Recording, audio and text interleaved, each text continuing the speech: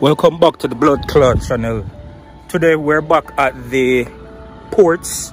We're picking up some farm equipment. So i'm gonna show you guys how i secure it. I have some experience from from flatbed. So this is the process that i seems to work best for me. So we have four four farm equipments. So i have eight straps. And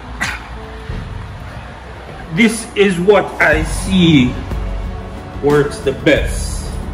So you're gonna hook one of the straps right here and you're gonna secure it right here. And then for the rear of it, you're gonna secure one strap right here to a point right here.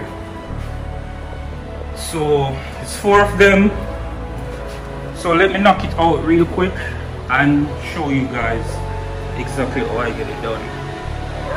Yeah we're done securing so I'm gonna show you what I did. Um, it took about 15 minutes 20 minutes so um, this is what I did. This one um,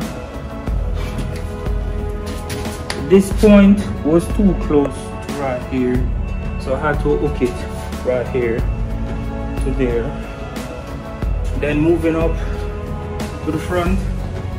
I hook it on this right here to right here. And the same thing you hook from this point right here to this point right here.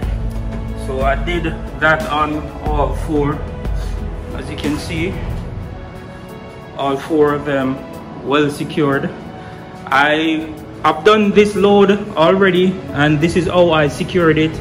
And when I delivered they were all tight. So I think this is the best way in my opinion to secure these. If you have more straps you can use more straps for more safety. But as I said I used two and um, they held up great.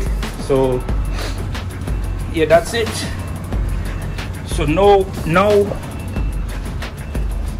we're gonna pick up our paperwork and then